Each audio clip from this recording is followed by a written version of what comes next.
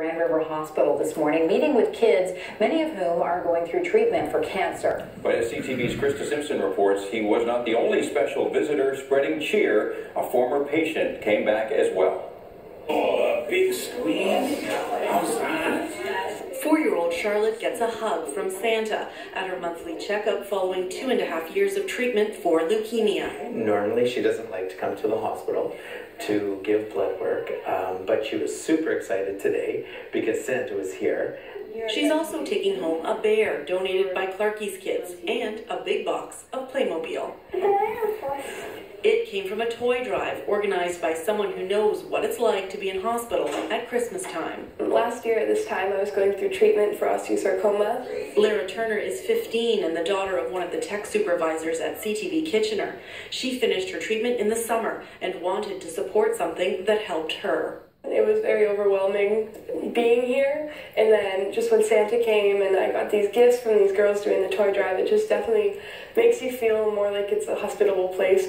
About 130 toys gathered from family, friends, and classmates. Kids can pick what they want from under the tree. It's so much fun because now every kid is like, oh, I want this one, or no, I want this one. We're like, take them both. It can be particularly difficult to go through treatment at this time of year, so a visit from Santa and gifts make a big difference. It's a great time for the kids. It's a very magical time of year for them. And uh, it just gives them a break. Boom, boom. Two and a half year old Judah is going through treatment for leukemia.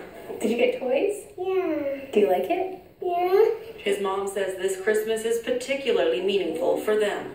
To kind of celebrate a kind of new sense of normalcy and seeing him so happy and healthy is, is really exciting too. So it's a lot to celebrate. Charlotte's family thankful too. During the journey, there's a lot of friends and family that help out, but there's also a lot of strangers.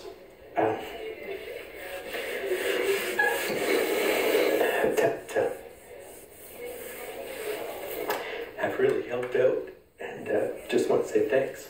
Krista Simpson, CTV News, Kitchener. Sorry. It's